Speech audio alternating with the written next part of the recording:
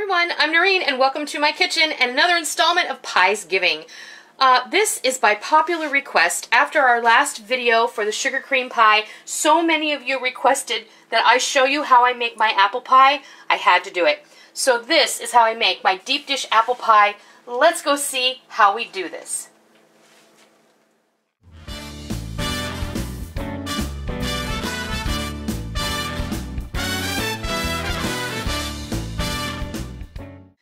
Right, we're going to get started with a little ingredient overview and then we're just going to dive right in.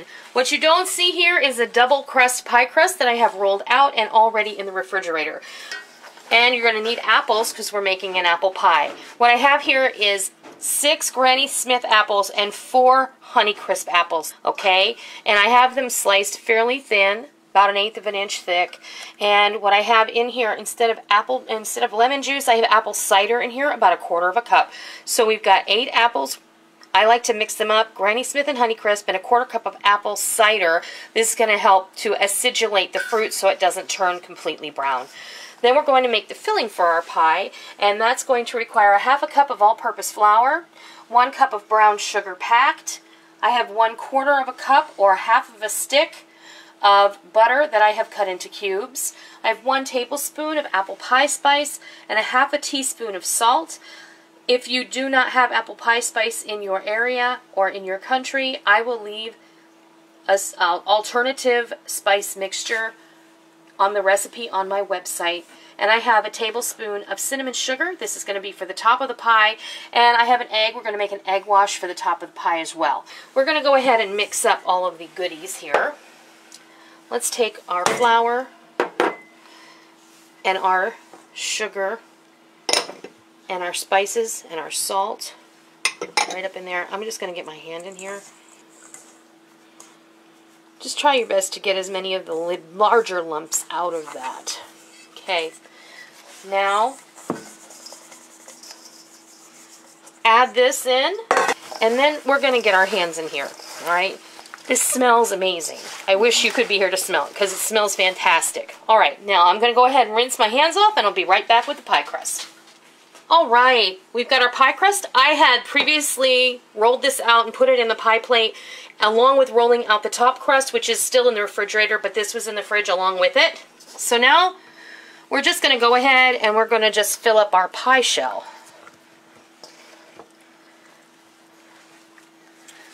And if you think that we have too many apples, bite your tongue.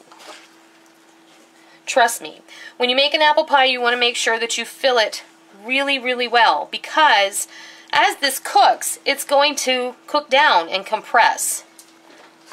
And the more apples you have, the higher your pie is going to be. And there are certain places where you go and you get like sky high apple pie or mile high apple pie. And the reason for that is because they've crammed way, a way lot of apples in that pie. Again, I'm going to rinse my hands. All right, I got this all in the pie shell. I've got my hands all rinsed off, and now I'm getting the other one dirty because I'm going to just dot this with that half a stick of butter. This is just a quarter of a cup of butter. I've cut it into cubes. Alright, so I have rolled out, previously rolled out my top crust. And now, because it's nice and cool, I'm able to just lay it right over the top of my pie. And you want to press it onto the bottom crust. All the way around. Just so you've got the edge kind of going on here. Alright, now what I like to do is I like to turn the pie crust inside, underneath, just fold it under, all the way around. And like I said in another video when I was working with pie crust, pie crust is very, very forgiving, okay? So if you think that you've messed it up, think again, because you can fix it. I promise. See, like this over here isn't as bulky as I'd like it to be, so I'm just going to take a piece that I just tore off, and I'm just going to kind of press it in there. Now when you get the edge of your pie the way that you think you like it, just go around and smooth it all up together. Make it kind of happy. I know that sounds a little silly, but just make sure your edges are kind of all smoothed out and then you can decide if you want to put a decorative edge on it, if you want to leave it the way it is right now, which would also be fine. But I'm going to go ahead and I'm going to start crimping it. And all I do is take these two fingers and this finger and I kind of, here, I'll show you over here. I'll do it backwards, like this. It's very simple, and it doesn't have to look perfect because pie crust in its own right is rustic, and there is a beauty in that simplicity, okay? We're not talking about a fine piece of artwork here. We're talking about a pie. And this pie is going to get eaten, and what's inside is going to be the real star, but you still want your crust to look pretty, I think. I'm going to grab a paring knife. Uh, and I'm going to grab a pastry brush. Do you see this extra flour here? I don't want that. So I'm just going to take my silicone pastry brush. I'm just going to kind of get that off of there. Now, I want a hole in the center. And I'm going to use a decorating tip I'm just going to push down and give it a twist and then it'll pop right out. And then I'm going to go a couple of vents at 3, 6, 9, and 12. Alright, now I'm going to go ahead and I'm going to beat my egg with a little bit of water. You can skip this step if you don't want to use the egg wash. This, this is going to give the pie a nice shiny appearance. It's going to be really beautiful. Okay, and our final step is we're going to sprinkle over a little bit of cinnamon sugar. This is also optional, but I love apple pie that has a little sugary crust. It gives you a little crunch on the top, and the cinnamon is really fragrant and it makes it look really pretty. So there you have it. There's our apple pie is ready to go in the oven. Let's put him in the oven.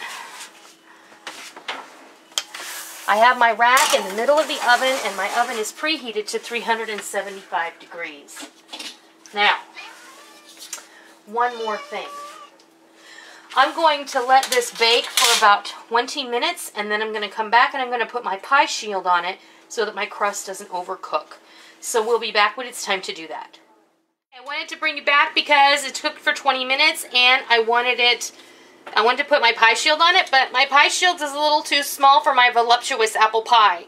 So, when that happens, because this pie shield usually works really well, but I did use a larger pie plate this time. This is a 9-inch deep dish pie pan, so you want to make sure that you have something to protect your upper crust here from getting too overdone before the rest of the pie is done baking.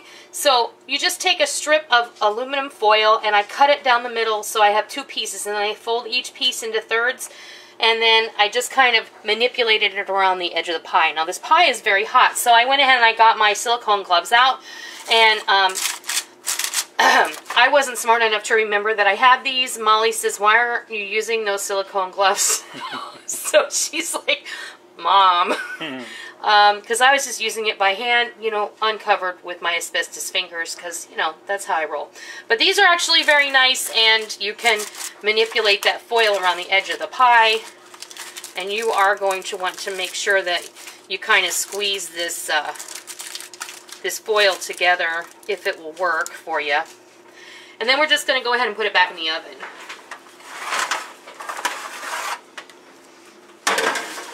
And we're going to bake it for another 40 minutes. And we'll be back when it's time to bring it out. Right. There it is. Bubbling, bubbling, bubbling. All right. Now,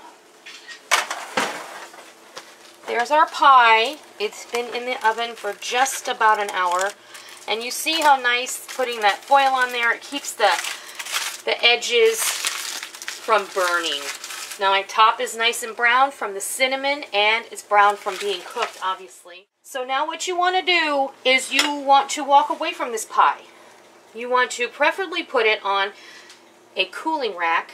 I'm just going to put the whole thing on a cooling rack and I'm going to let this cool for at least two hours before we try and cut into it. If you try and cut into this pie too soon, it's going to leak everywhere and it's going to be very unpleasant. So what you want to do is just let this cool before you cut it. When we get ready to cut it, we'll come back and we'll show you what it looks like. Here you have it. We're going to pull this beautiful piece of pie out of the pie plate and of course that first piece is always a doozy. This is the Rada ice cream spade that I just used to serve the ice cream onto the pie. And today we're going to be treated by Rada to one of these ice cream spades. They're going to give away one to a lucky winner. Now, the way that you're going to win this is when you see this post on Instagram, you're going to leave a comment and then I'm going to we're going to pick a winner from the people who leave a comment on the Instagram. And um, don't worry if you don't have an Instagram, you'll have another chance down the line, maybe on another platform. But I am sp spreading this around so everybody has the opportunity to win something. And uh, so the winner of the pie server from the sugar cream pie video is listed in the information box below. Congratulations to you. And I know that you're going to love having this pie server in your kitchen drawer and having it for the holidays to serve up all that delicious pie that you're going to be making for Thanksgiving. So the winner has been contacted and they are going to be receiving a pie server. It's going to be shipped directly from Rada. And all right, so let's give this a try, shall we? We have a little bit of everything, right, honey? Mm-hmm. That crust is gorgeous. Mm. -hmm. What do you think? Yeah. Oh man. Mm -hmm. Um, the apples are not like turned to mush. Mm -hmm. That's why it's so important to use a crisp apple. It has some body to it the brown sugar makes it such a caramely delight inside. You're just going to love it. Mm -hmm. Now, when this came out of the oven, there was quite a bit of pie juices kind of hanging around this moat next to the crust. So I took my pastry brush and I just brushed it over the top. And now it has this beautiful glaze to it. Mm -hmm. This crust is absolutely gorgeous and flaky. This is my cream cheese pie dough. I'll leave a link below to the video where you can find this. It's so delicious. Mm. So, that is how you make deep dish apple pie. Super easy and really surprisingly few ingredients. Just get your pie dough ready, get those apples ready, put them together. It's a match made in heaven. Don't forget to go over to Instagram and follow me if you haven't already. And leave a comment under the post for this deep dish apple pie. And one of you will get selected to win the Rada ice cream spade. I'd like to say thank you to Rada for generously providing the prizes for the Pies Giving celebration that we're having. And I wish you all good luck. I know that you're going to love it. I'm also going to leave a couple of links below for the ice cream spade and the pie server as well as the gift set that they have that contains both of them. It's called the Pie a la Mode set. And you can go to Rada and you can check those out as well. I hope that you try this apple pie and I hope that you love it. And until next time, happy pies giving! Thank you for joining me in my kitchen today. I hope you liked what you watched today and I hope that you try it and I hope that you love it. Um, if you like what you saw, please consider hitting the thumbs up button and giving me a positive rating. And also, make sure that you hit the subscribe button if you're already not a subscriber so that you don't miss out on any of the fun we have here in our kitchen every single day. I hope that you enjoyed it. I'm really glad that you're here. Thank you for stopping by. Don't forget to come by tomorrow.